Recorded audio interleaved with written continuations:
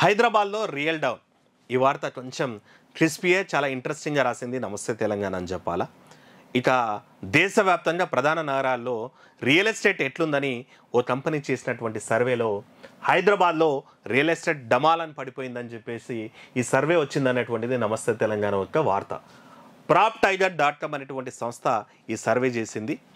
మొత్తం భారతదేశంలోని ఏడు ప్రధాన నగరాల్లో ఈ సర్వేనైతే చేసింది. అయితే ముఖ్యంగా ఇక్కడ నమస్తే తెలంగాణ దీన్ని హైలైట్ అయితే చేసిందని చెప్పాలా?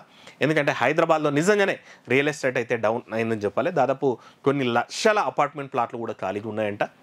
మార్కెట్ అయితే అయితే లేదు దాంతోపాటు భూముల కొనుగోళ్ళు లేదంటే ఇక ఇండివిజువల్ ఇండ్ల కొనుగోలు అనేటువంటిది స్తబ్దు అయితే మొత్తం మీద అయితే మార్కెట్ అయితే చాలా డల్గా అయిపోయింది. ఈవెన్ గవర్నమెంట్ లెక్కలు కూడా రిజిస్ట్రేషన్ వాల్యూస్ రిజిస్ట్రేషన్ ఇన్కమ్ చాలా పెద్ద ఎత్తున పడిపోయింది అన్నటువంటిది గవర్నమెంట్ కూడా ఒప్పుకుంటుంది. అయితే దీనికి కారణాలు నేషనల్ లెవెల్లో అయితే రెసిషన్ అయితే నడుస్తుందని చెప్పాలా. కానీ తెలంగాణలో కొన్ని కారణాలు అయితే చూపిస్తుంది. నమస్తే తెలంగాణ. హైడ్రా ఉంది ఎఫ్టిఎల్ ఉంది బఫర్ జోన్ ఉంది. మన దగ్గర ఇది దాదాపు మూడు నాలుగేళ్ళ నుంచి విస్తృతంగా పెద్ద ఎత్తున ఈ అక్రమ నిర్మాణాలపై అయితే దాడులు అయితే జరుగుతున్నాయి. గతంలో ఏంటి అంటే రివర్ వ్యూ అని చెప్పేసి లేదనుకుంటే ఏమంటారు?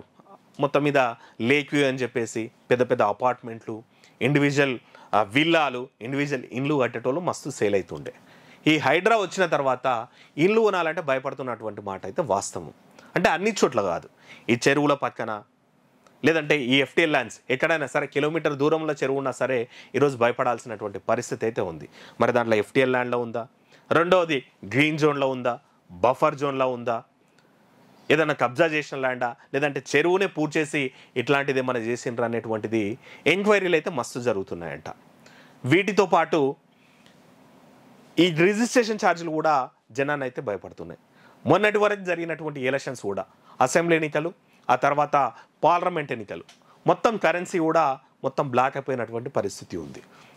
మొత్తం మీద రెసిషన్లో అయితే రియల్ ఎస్టేట్ మార్కెట్ మీద రెసిషన్ అయితే కనిపిస్తోంది. గతంలో మస్తు ప్లాట్లు అమ్ముడబోతుండేనంట డెల్ నెల నెలకి. ఇప్పుడైతే పెద్ద పెద్ద అపార్ట్మెంట్లు కట్టిన వాళ్ళు కూడా దివాలా తీసే పరిస్థితుల్లో అంటే ప్లాట్లు అమ్ముడబోతా పరిశానంలో ఉన్నారన్నటువంటిది హైదరాబాద్లో నడుస్తుంది. అయితే నమస్తే తెలంగాణ రాసింది ఏంటంటే హైదరాబాద్లోనే భారీ ఎత్తున రియల్ ఎస్టేట్ పడిపోయిందని చెప్తుంది. అయితే ఇక్కడ ఇంట్రెస్టింగ్ ఫ్యాక్టర్ ఏంటంటే ఢిల్లీ ఎన్సీఆర్లో ఇరవై శా ఇరవై తొమ్మిది శాతం సేల్స్ అయితే పెరిగినాయంట. కానీ మిగిలిన కోల్కతాలో గరిష్టంగా ఇరవై రెండు శాతం క్షీణించినాయి మన దగ్గర పంతొమ్మిది శాతమే క్షీణించినాయి కానీ మన దగ్గరనే ఎక్కువ డౌన్ అయిందని చెప్పేసి రాస్తుంది. కోల్కతాలో ఆల్మోస్ట్ ఇరవై రెండు శాతం కూడా పడిపోయిందంట. మరి అక్కడ హైడ్రో కానీ ఎఫ్టీఎల్ కానీ బఫర్ జోన్ కానీ ఇట్లాంటివి అయితే ఏం లేవు. కానీ ఆడ కూడా ఇరవై రెండు శాతం అయితే పడిపోయిందంట. ఇక బెంగళూరులో పదకొండు శాతం అహ్మదాబాద్లో తొమ్మిది శాతం చెన్నైలో ఎనిమిది శాతం పూణేలో మూడు శాతం ముంబైలో ఒక్క శాతం చొప్పున సేల్స్ దిగజారినాయంట.